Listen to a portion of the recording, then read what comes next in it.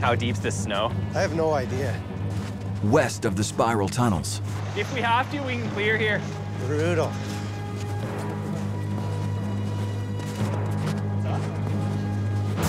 Nick, Right here. here. Right there? Yeah. Okay. Nick's repair crew has found the defect. Okay, bring her in. We've come out here to make sure that we get this piece of rail changed out so that we can make sure that the line is safe. Guess we get to dig it, eh? As it stands now, we only have about an hour of track time. It's tough going when the ground is frozen.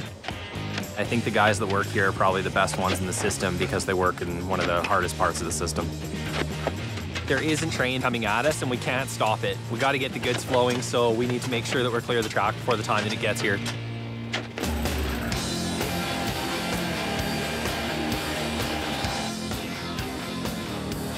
Are you between the crib? Yeah. Wicked. What do you got?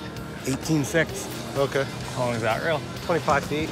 Do 25 feet. That's what I was thinking. Let's do 25. Let's do that then.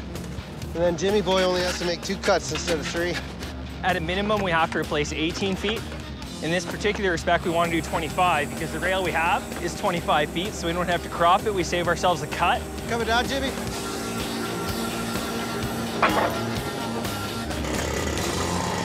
We have to be on point, work fast, and try to get her done so we don't hold up any trains.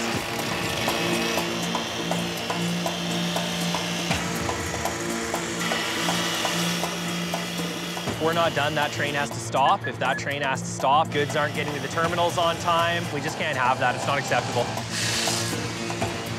Good to go up? Yep. Watch out there. Watch your feet. What's it holding on? A little bit that wasn't cut.